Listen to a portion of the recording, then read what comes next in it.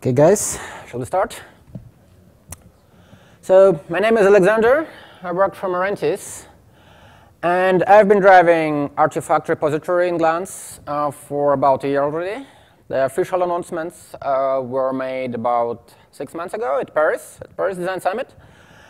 And here I'm going to talk to you about how to use Glance Artifact repository to deliver the applications to end users of your cloud. So when we speak about applications in the cloud, we usually mean different things. We usually mean uh, different components uh, designed to work together. And the simplest way to deliver application is just to have a single VM image with pre-installed, pre-configured software which can just run a virtual machine and use it. Well, sometimes we do have such things, but usually you don't need a cloud to run such software, right? It's some, something very simple. Uh, in real world situation, when you have real world production grade services, you have to run multiple, multiple virtual machines using different resources configured to interact with each other. And the software deployment is like a complicated process. So it's not just a single VM. That's usually VM image plus some binary software bundle needed to deploy that, plus some orchestration scenarios, you may use Heat or you may use something else to orchestrate all the stuff. And then you have configure software on each VM to interact with each other and with a cloud environment. And then you have to maintain, uh, to, to, run maintenance scenarios on all of that stuff to do, I don't know, backups, uh, health, uh, health checks, uh, failover recoveries, and so on. So this is a bunch of uh, different stuff which cannot be natively placed at the same place in OpenStack. Uh, images, they live in Glance, right? Uh, and that's a good major component which has been with OpenStack for almost all its history. And, well, the binary software may be placed in various kinds of package repositories. If you're on Python, then Pip is probably fine, and you may use various kinds of uh, repositories of your Linux distribution. But, well, Sometimes it's not possible. Sometimes uh, you don't have internet connectivity. Sometimes you have something very specific which cannot be placed in Debian or some other repo. And, well, in this case, you have to place all that stuff to some kind of file storage, to different kinds of volumes mapped on your block storage. Uh, and you have to, well, ma maintain all that stuff altogether. Uh, or if you are speaking about various kinds of public clouds with internet connectivity, you may want to place all your content to some kind of content delivery network, which has its pros and which has its cons. So uh, that's just a number of different places to put the components of your application, which usually do not provide you the actual tooling you need to control the whole distribution process. There are proprietary solutions, like there is very good Artifactory solution, which provides you a tooling to build like a CI/CD system and publish the artifacts built in your CI/CD systems to your end users. But the thing is not the thing is not natural to OpenStack. It's like third-party solution which is not uh, present in some clouds, and you have to maintain it and deploy it. And well, there are others which have their pros and cons as well.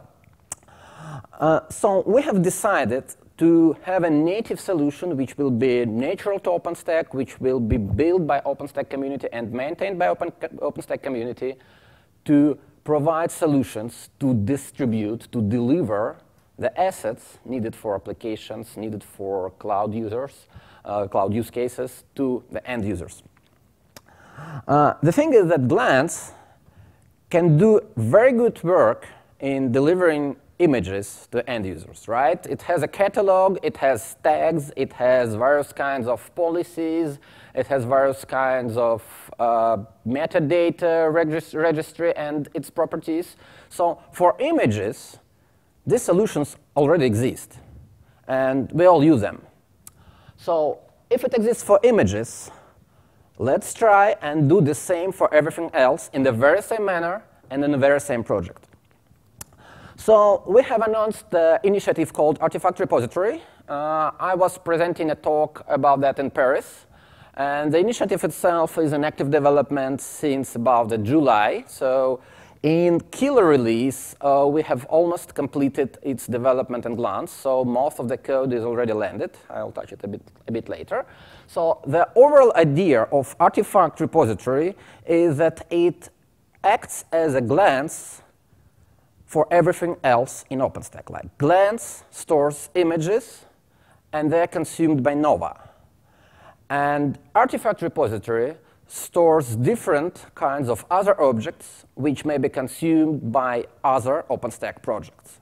So uh, this may be heat templates, this may be some kinds of other objects used by the projects, for example, Mistral workbooks, Murano packages, I don't know, the, what's the name for Magnum, uh, Magnum resources? They have, they have some. Uh, the Solum plan files also used uh, to require some kind of a catalog. So a lot of different uh, components and sub-projects in OpenStack did require some kind of catalog to store their entities, their assets. So this is not only about applications, right? Heat template on its own is not an application. It's just an orchestration thing which may or may not be used to deploy an application. And same goes to, well, almost every, uh, everything else. But the thing is that artifact repository is pluggable. And the type of the entity which can be and should be placed in artifact repository is entirely user definable or deployer definable. So it's a plugin, it's a Pythonic program, a Pythonic uh, code, which defines the structure, the metastructure, and the various kinds of logic for artifact type, for asset type. So it becomes possible to define your application, to describe your application as an artifact. But first of all, what is an artifact? That's a slide from my previous presentation, but probably not all of you have been in Paris last, last year when I was presenting it. So the artifact is defined as a uh, an object consumable by OpenStack services. So that's not just an arbitrary chunk of data. And it's not like your pictures. It's not like uh, your SMS messages. It's object consumed by OpenStack services, which contains binary data and has some metadata describing it and describing its various properties and capabilities. The structure of these properties and the binary data is well defined, defined by the developers of the projects who are going to consume that. So if we speak about your application and you are the developer who is going to consume that application, deploy it on the end user's cloud, and run it, it's your responsibility to define the structure, to define data and metadata for your artifact type. Uh, and you publish it in the artifact repository. Uh, you make it available for your users in one way or another. I'll tell about that then it becomes immutable, so nobody can modify it, nobody can um, change it somehow in an expected way, unexpected for you and for your users. So as soon as your users use Artifact Repository to discover, find, and locate your application, they may be sure that this application is exact thing you have placed there, you have delivered to them. And also, this thing has like versioning support, dependency support, uh, various kinds of things which you will expect to see in application catalog. So when you define an artifact, as I have told you, you have to describe its metadata and data. So when we speak about applications, uh, you will probably want to describe properties uh, which are natural to your application. So you just specify the name, the description, uh, the version of your application in the catalog, uh, the license which you use to distribute the application to your users, the information about you as a developer or as a supporter or maintainer or whatever, wh whoever you are for, for this application. You may publish the website links. You may add any information you want and any information you think is useful for your users. Uh, at the end, all this data will become available at the catalog. It will be browsable and searchable. The users will be able to filter your applications in catalog. For example, if they want like GPL-only applications, they may filter by license. And, well, everything you specify as application metadata may be used against you, uh, mm, may be used to help you. Uh, uh, and then you define the data. So uh, as I said, there are a number of resources uh, which compose the application.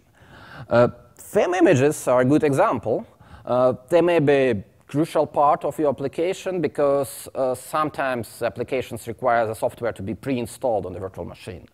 Uh, then, if you want to orchestrate the deployments, you'll have Heat templates, which are very specific for your environments, very specific for your applications, and very specific to your deployments. So you want them to be bundled with the rest of your application. And there are configuration scripts, various kinds. It depends on what tooling do you prefer to configure your VMs. This may be just simple shell scripts, or you may use Puppet or Ansible or Salt or whatever you like. And then when you are done with defining the application deployment scenarios, you want them to be displayed in a catalog somehow. So you may want to bundle icons or screenshots or whatever, whatever resources, graphical resources you want to be displayed in the catalog and the dashboard or whatever tool, tooling you use to show this application to users before they de de deploy it for you. So that's also part of your application, and it becomes binary part of the artifact when you define your application as artifact. And then various kind of not necessarily binary data, the textual data. You may include user manuals, you may include uh, end-user license agreements, you may include help. Uh, once again, everything you want, it's up to you to use this data at the end-user site, but the catalog provides you tooling to describe the data structure for that. So, and then there's more. Um, it's usual to have like requirements. Applications rarely go alone, right? So in most, uh, in most catalogs, uh, we have the concept of uh, requirements between uh, some prerequisite libraries and the end applications. Uh, artifact repositories support that as well. So when you design the, your artifact for your application, you specify the various kind of dependencies this application may have on other applications and on other artifacts which are not applications on their own, but may be required for your applications to run. On the previous slide, I had this VM image here as a data object. And this is very natural uh, when this image is very specific uh, for your application and cannot be used without it.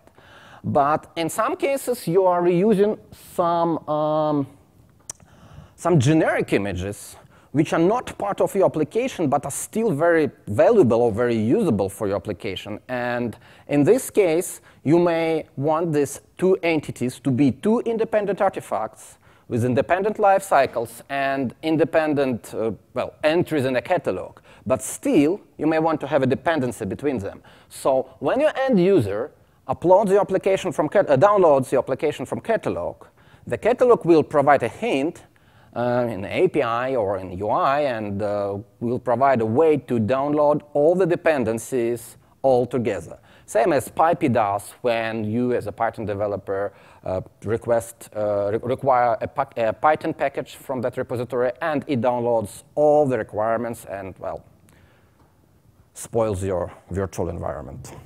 That's PyPI. Uh, so, uh, and of course, all the components uh, which may be linked by these dependency relations may be versioned. So you don't have to link particular, let's say, VM image to your application. You may specify that your application requires latest Ubuntu image or even latest Ubuntu long-term service release with some sophisticated query which defines the metadata which should be present on the artifact you're referencing to, and this reference will be established. And when your end user wants to download your application, uh, the dynamic query will be executed at the time, and the appropriate requirement will be downloaded. Once again, very similar to PyPI if you're familiar with piece of software.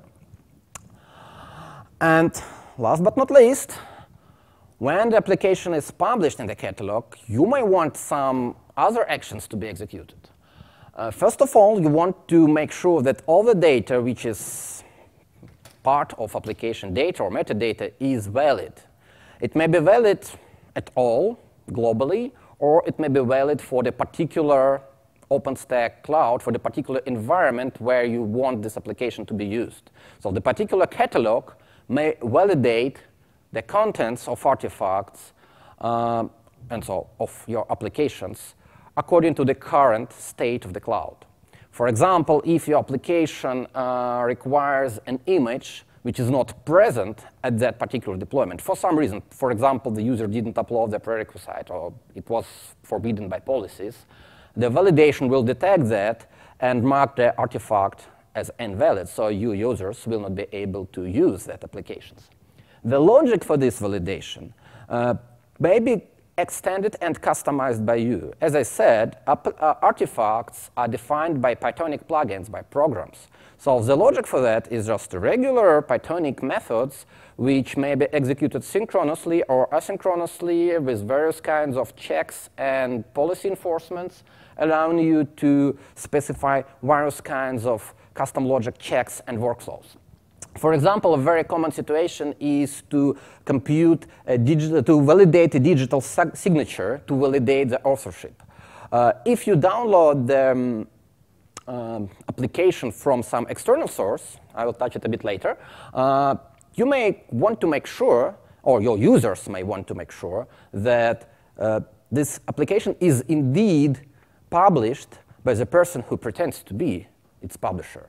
Because, well, you know, I may publish something uh, very, very, of, of, very bad quality and like uh, state that it's written by, I don't know, Bill Gates, somebody else. Uh, everybody will believe me because it's Bill Gates, but, well, um, sometimes you need to verify the authorship.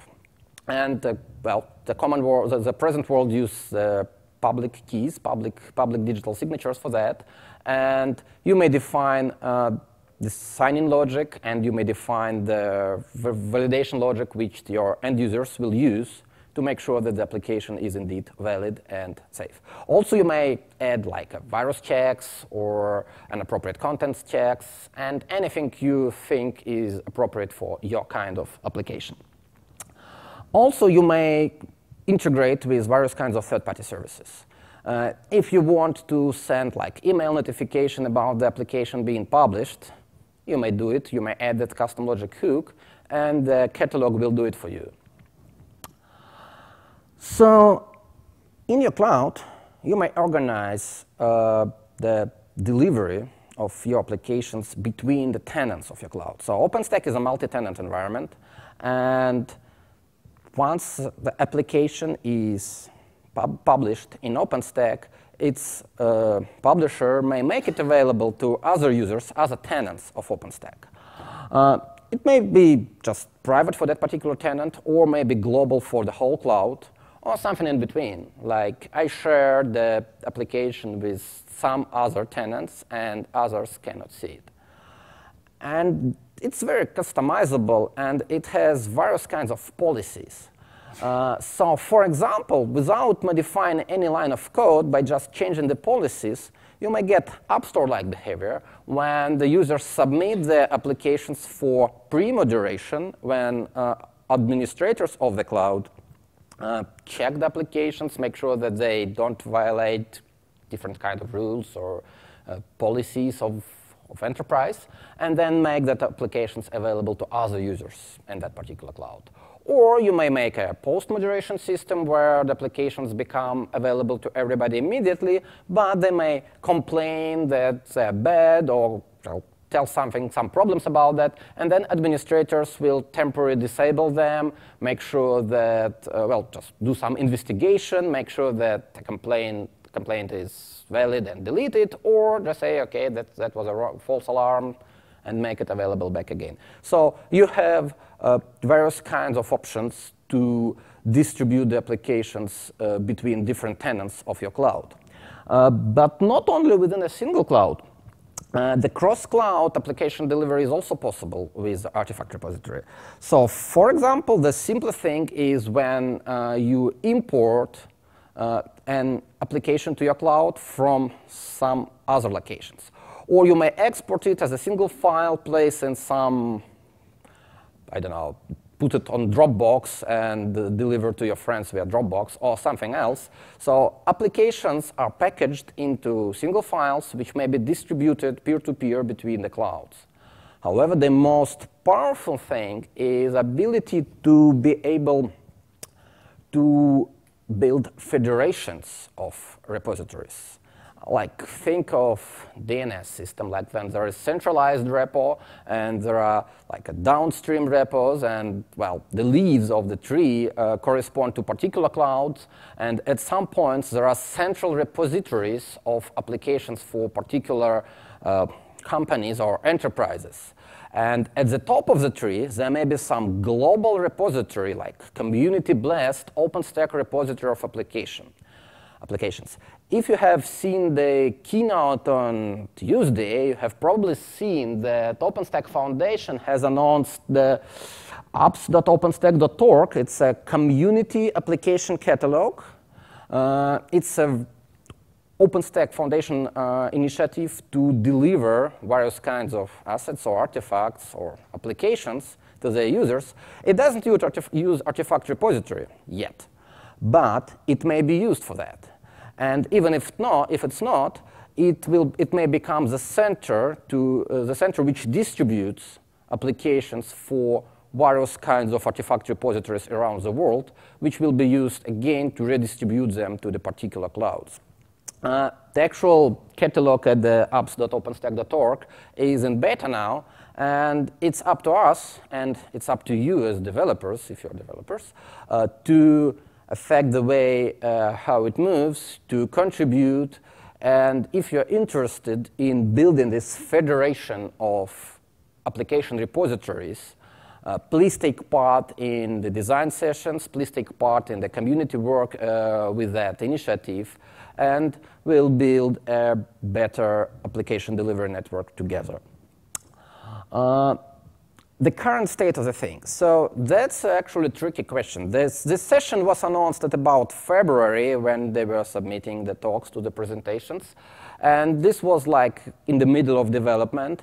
And uh, for now, uh, the most of the code is landed in Glance. Uh, most, but not all of the code. So unfortunately, I cannot tell you now that take the latest Glance master branch and use it to deploy the artifact repository. Unfortunately, a couple of commits are still being reviewed, but we do really plan to see them landed at Liberty 1 milestone.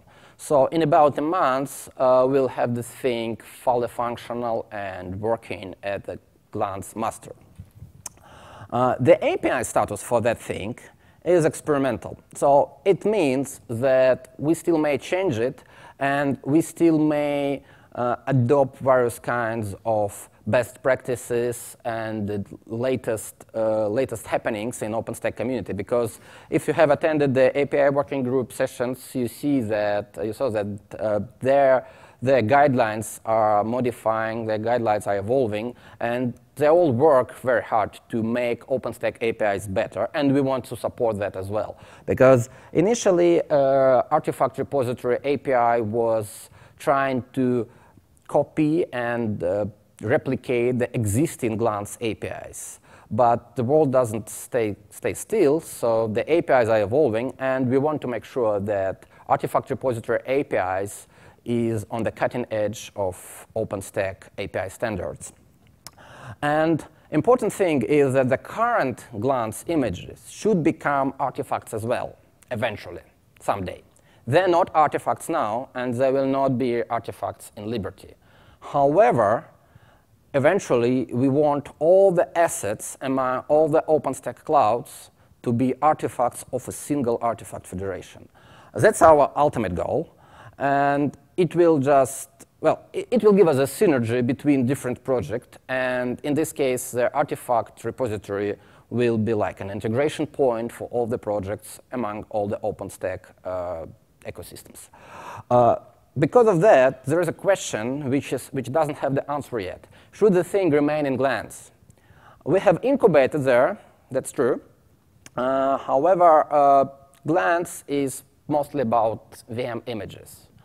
And now we have an open discussion in Glance community about uh, if we need to separate artifact repository into a standalone project and at some point in future deprecate the existing legacy Glance image, image listing, image browsing APIs, and let Glance just do what they do the best, image-related manipulations, uh, data conversions, uh, introspections, and all that stuff, and let artifact repository to be the catalog of all the stuff, including images. So there is a contributors meetup tomorrow for Glance. Uh, if you have like ATC badges and if you are willing to take part in, um, in contributing to Glance and to Artifact repository, uh, please feel free to stop by at Contributors Meetup tomorrow. And once again, you may take your part in the shaping of Artifact's future. And at some sense, this is a very important moment in shaping OpenStack's future, as I believe. So uh, I think that's all I wanted to tell you about the artifacts and how you may use artifacts uh, for delivering your applications. There are many questions which remain unanswered yet, and I can talk much longer about some technical details, but I would prefer to hear any questions first and like answer them first. Any questions? Well,